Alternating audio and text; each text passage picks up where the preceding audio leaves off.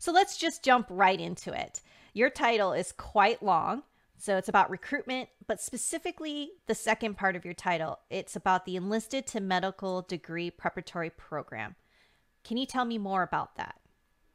Yes. So um, we have shortened it to EMDP2 because, as you said, it's quite a mouthful.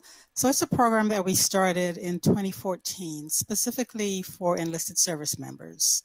EMDP2 is a 24 month program that helps our enlisted service members get into medical school. So, what we do in that 24 month period is we pro- essentially provide a pathway um, to help our enlisted service members meet all of the requirements to get into medical school.